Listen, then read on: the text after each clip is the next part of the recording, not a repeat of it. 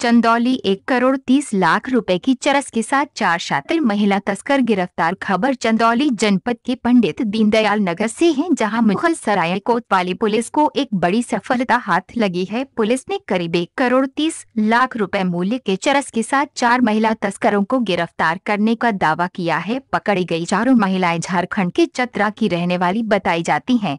जो करीब 14 किलोग्राम चरस लेकर अंबाला के लिए निकली, लेकिन मुगल सराय इलाके में पुलिस के हत्थे चढ़ गई। पूछताछ के बाद तस्कर महिलाओं ने पुलिस को बताया कि वे चौथी बार चरस की खेप लेकर जा रही थी, जहाँ इस नशीले पदार्थ की अच्छी कीमत मिल जाती थी। तस्कर महिलाएँ पहले सड़क मार्ग से बिहार पहुँची, जहाँ से ट्रेन में सवार होकर मुगल सराय तक गई लेकिन चेकिंग को देखते हुए स्टेशन के आउटर पर ही उतर गई और जैसे ही बाज़ार में पहुँची, पुलिस ने इनको दर दबोचा। संवाददाता विनय तिवारी, जनपद चंदौली।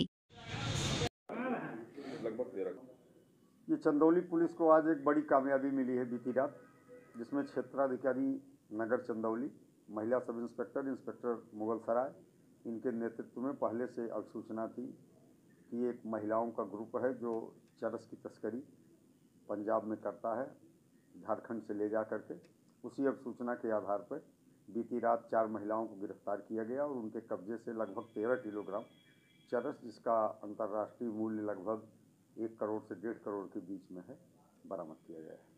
कहाँ से ये ले आ रही थी और कहाँ ले जा रही थी? ये चारों महिलाएँ चतरा झारखंड की हैं और ये अम्बाला में सप्लाई करती हैं और शुरुआत इन्होंने बस से की थी। झारखंड से सासाराम तक बस से आई। बस से इसके बाद सासाराम से इन्होंने ट्रेन पकड़ा।